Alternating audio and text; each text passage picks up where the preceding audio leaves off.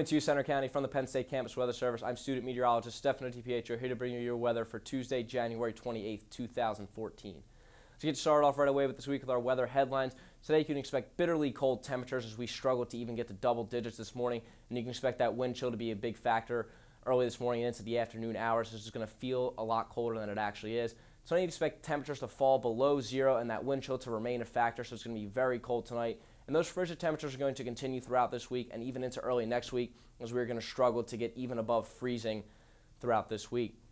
Right now, let's take a step outside to look at those current conditions live at the Penn State Arboretum. Currently zero degrees in State College. Those winds are out of the west at 8 miles per hour. Take a look at the feels like temperatures. Currently feels like minus 15 degrees in State College. That trend is going to continue throughout the day today and even into tomorrow as that wind chill is really going to become a factor. Let's just zoom out so we can see how the state is doing this morning.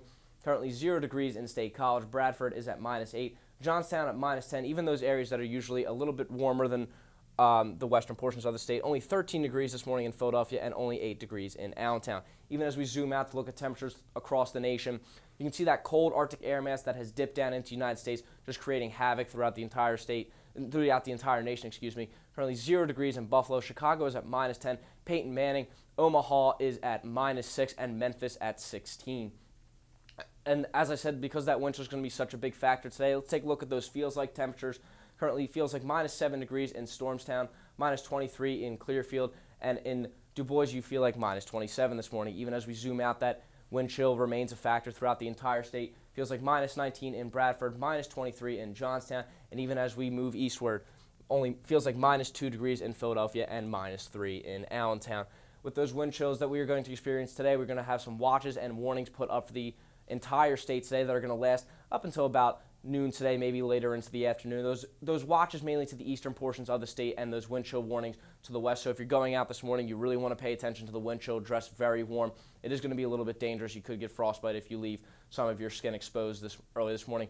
Just as we can, just so we can look at the Doppler radar. Not too much on the radar this morning. Just a few blips of snow uh, here and there. And as we zoom out, not even much throughout the entire state. Mainly clear skies throughout the state, not much precipitation to worry about. There's some lake effect snow to our north, but that is not going to affect us in any way. But the real main story, once again, is going to be the cold for today as we look at today's forecast. Frigid and windy today, that high only reaching about 11, and that's even a stretch for this for today.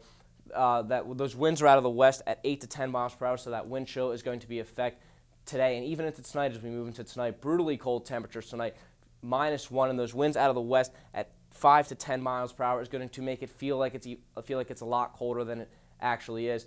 Even as we move into tomorrow, we're going to struggle to get to the teens tomorrow as we have more biting cold temperatures. Only 13 degrees for your high tomorrow. Those winds, once again, out of the west at 10 to 15 miles per hour, so that wind chill is going to remain uh, in, in effect throughout the day today and into tomorrow. And even as we move in, move through the rest of the week, brutally cold temperatures for most of the week. Brutally cold on Wednesday, only a high of 13. That overnight low dipping off to about three. Thursday, sunny and cold. A little bit of a warm up than from what we've been seeing lately. 22 degrees on Thursday, that overnight low dipping into about 6. On Friday, we actually do get above freezing. It looks like 35 degrees for your high on Friday, that overnight low dipping below freezing, however.